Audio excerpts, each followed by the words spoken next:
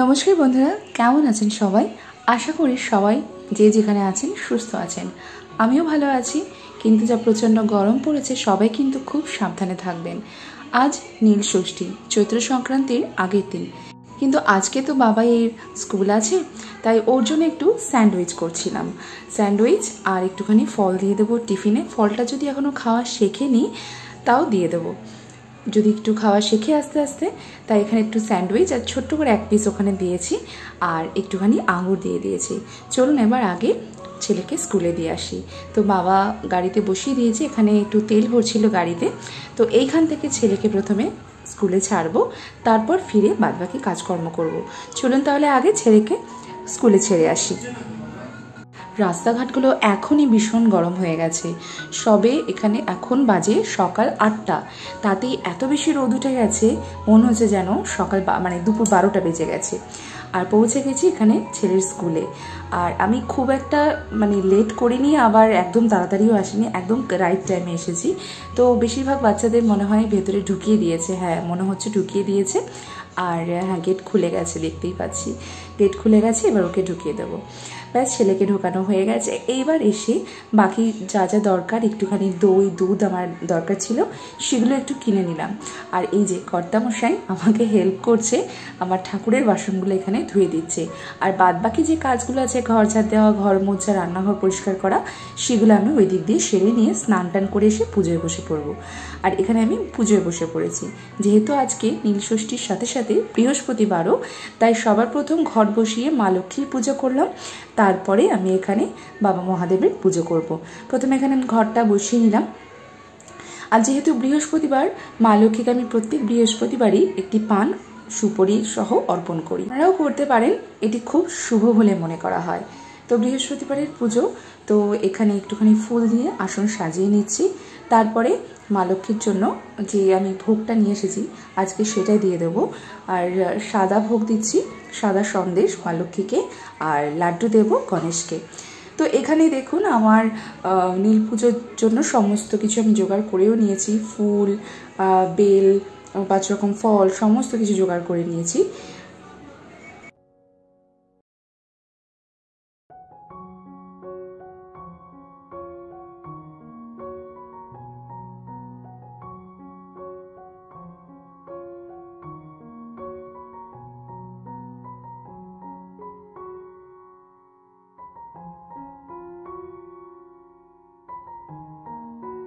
এই যে, আমি আরেকবার আপনাদের দেখিয়ে দিই যে আমি কীভাবে কী কী জোগাড় করেছি। কাটা ফল, বেলপাতা, ফুল, আর এমনি গেঁদা গেঁদা ফুল, আর পাঁচ রকম ফল, একটা বোটাযুক্ত আম।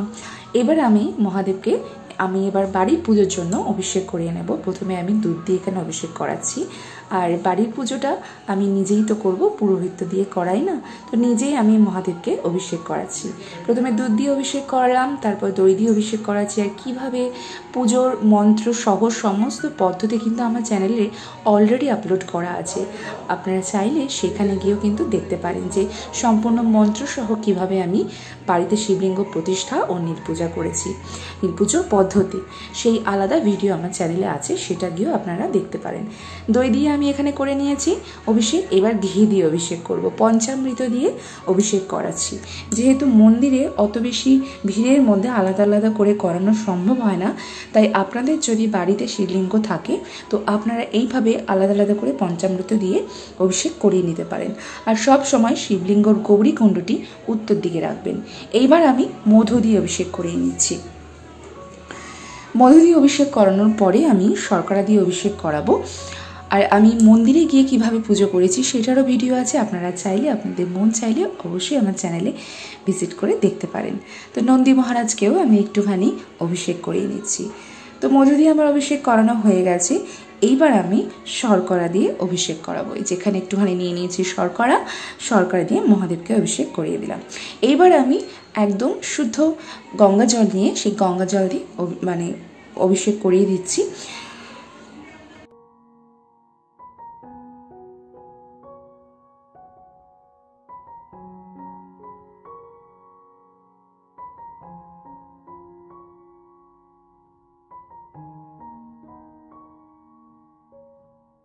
এইবার বাবা মহাদেবকে আমি মুছিয়ে সুন্দর করে আসনে বসিয়ে দিয়েছি, একটা আকন্দ ফুলের মালা পরিয়ে দিলাম।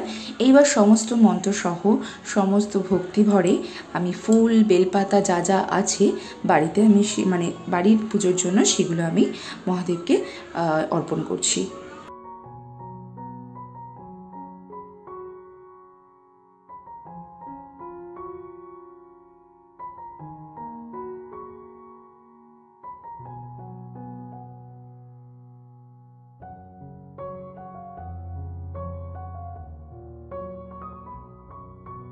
আমি আগে কিন্তু অভিষেক করিয়েছি।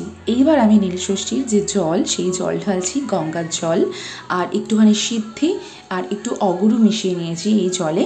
দিয়ে ওম নমঃ শিবায়, ওম নমঃ শিবায় বলতে বলতে আমি মহাদেবের মাথায় জল ঢেলে নিচ্ছি। আর এই নন্দী মহারাজের মাথায়ও আমি একটুখানি জল ঢেলে নিচ্ছি।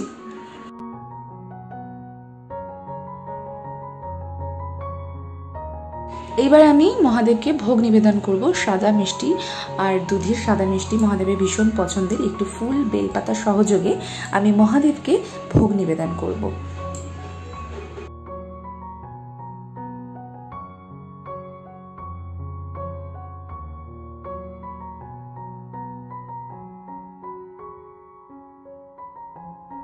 এবার আমি একটা গোটা ফল মহাদেবকে নিবেদন করছি।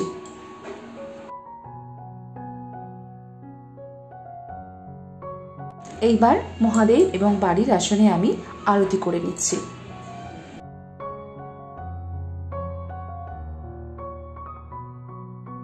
চলুন, এবার বাড়ির পুজো হয়ে গেছে, এবার ছেলেকে নিয়ে আসি। আর যার রোদ পড়েছে, আপনাদের একটু দেখিয়ে দিচ্ছি। এতটা রোদ পড়েছে, আর মানে এতটাই গরম পড়েছে।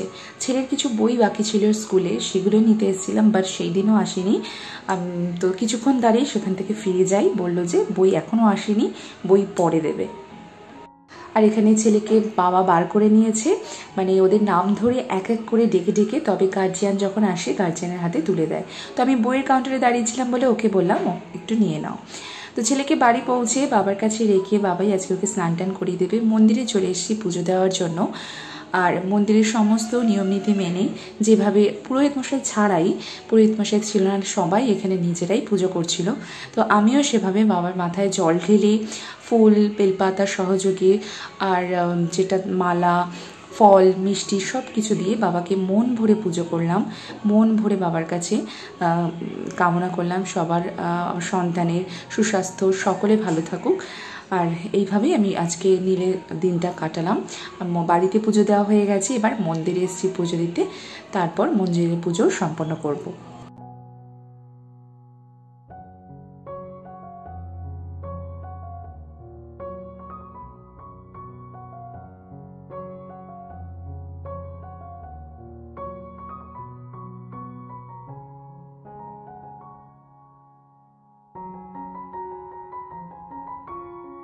চলুন এবার আপনাদের একটু মন্দিরের বাইরেটা দেখিয়ে দিই। মন্দিরের বাইরে সামান্য কিছু মেলা হবে। সন্ধে মেলায় ছোটোখাটো মেলা হবে। তো এখানে পশরা সাজিয়ে সবাই বসেছে। কত সুন্দর লাগছে বাচ্চাদের ছোট ছোট খেলনা, ছোট ছোট গাড়ি, আরও দোকান বসছে। দোকান করা আছে বাট সেগুলো বিকেলে বসবে। আর এখানে আইসক্রিম রয়েছে, আখের রস রয়েছে। মায়েরা পুজো করতে এসে প্রচণ্ড তৃষ্ণার্ত নিশ্চয়ই পুজো করার পরে সবাই সেগুলো খাচ্ছে। হয়ে গেছে সন্ধেবেলায়, এবং সন্ধেবেলায় নীল পুজোর দিন মহাদেবের সামনে নীলবাতি দান করতে হয়। তো সেটাই আমি বাড়িতেই সম্পন্ন করছি। আর এর সাথে সাথে কিন্তু সবার সন্তানের সুস্থতা কামনা করে আজকে ভিডিওটাও শেষ করব। আপনারাও নিশ্চয়ই অতি ভক্তি ভরে আজকের দিনটাকে পালন করেছেন আপনাদের সন্তানের জন্য। আপনাদের সবার সন্তান ভীষণ ভালো থাকুক। আমার সন্তানের জন্য একটু প্রে করবেন। ভগবানের কাছে যেন আমার সন্তানও ভালো থাকে, সুস্থ থাকে, বড় হয়। আর এই বলে আজকে আমি আমার ভিডিওটাও শেষ করছি যে যেখানে আছেন, খুব ভালো থাকবেন, সুস্থ থাকবেন। আবার দেখা হবে নতুন একটা ভিডিও নিয়ে। আর গরম প্রচণ্ড পড়েছে। আপনাদের সন্তানদের সমস্ত সবাইকে খুব সাবধানে রাখবেন। এই বলেই আজকে আমি আমার ভিডিওটি শেষ করছি।